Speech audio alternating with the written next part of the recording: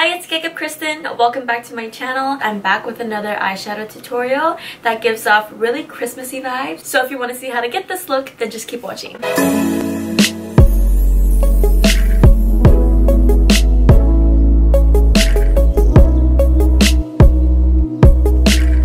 This whole tutorial, I'm using my Harry Potter palette by Storybook Cosmetics and the first shade I'm going to pick up is this maroon color and I'm going to be doing that with this blending brush that I got from the Wish app. Using windshield wiper movements and little circular motions, I'm going to be putting that into my crease.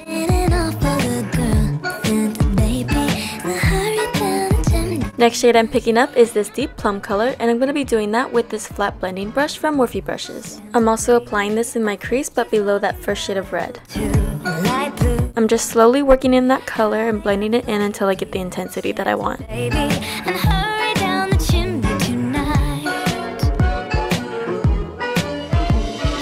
Now switching to this sparse tapered brush, I'm going to blend out those edges so that there are no harsh lines.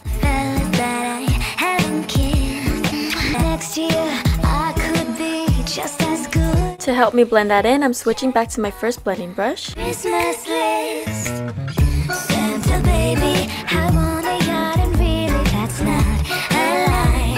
Next shade I'm using is this beautiful shimmery green with this dense tapered brush. I'm going to tap that on my outer V.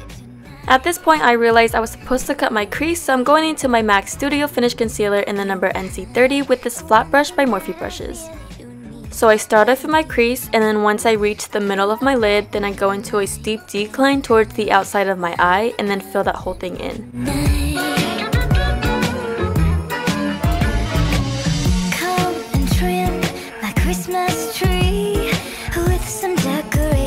To set my concealer, I'm picking up this bone shade with this slanted blending brush from the Wish app. First I'm tapping on that product until I feel like it's not sticky anymore and then picking up some more product and just dusting that over once more. Then going back into that green shade with my dense tapered brush, I'm going to go into my outer V and a little bit in my crease.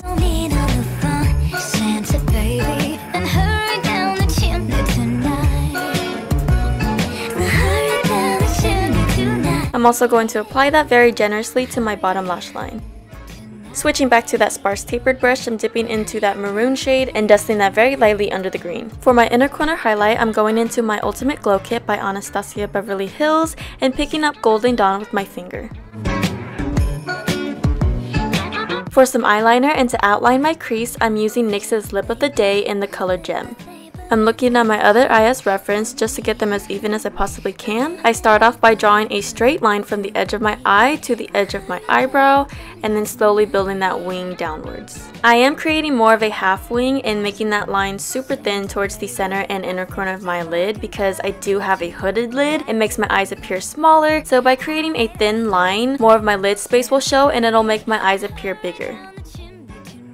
For the other eye, I did go in one swoop to outline my crease, but because I'm trying to match that eye, it's better to go in small segments.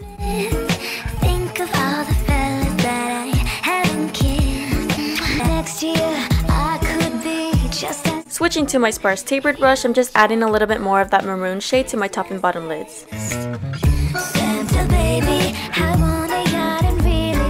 To make my inner corners pop a little more, I'm using this gold glitter by Lemonhead and I'm applying that with this flat brush.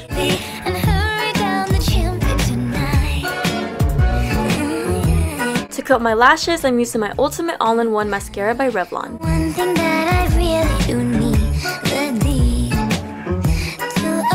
For some falsies, I'm using these by Morphe Brushes and this is in the style So Charming. For the bottom lashes, I'm using these individual lashes by Ardell and these are the double ups. For the last step, I'm coating my falsies with some mascara. And here is the final look.